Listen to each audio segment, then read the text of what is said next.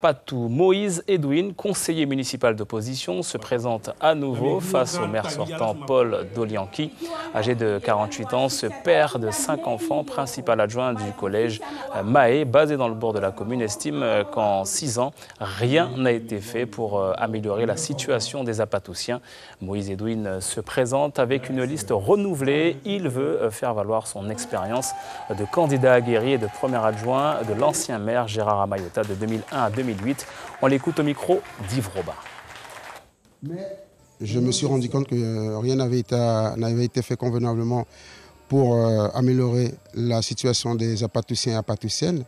Et je pense qu'avec mon équipe, nous pouvons vraiment euh, apporter un changement dans, dans, le quotidien des apatoussiens et apatoussiennes. Ma première priorité, ce sera l'aménagement du territoire et surtout l'accession à la propriété pour la population. En deuxième point, ce sera le développement économique pour aider nos jeunes à, s'émanciper, le développement durable et surtout le, social. Vous savez, je ne suis pas nouveau en politique. Et fort de, mes expériences, que ce soit aujourd'hui en tant que principal adjoint, mais aussi en tant qu'officier de l'armée de terre, donc je veux mettre cette expérience au service de la population et cette population voit en moi un leader et un meneur. On ne peut pas nier non plus que M. Dolianki, après 12 ans, il a fait des choses.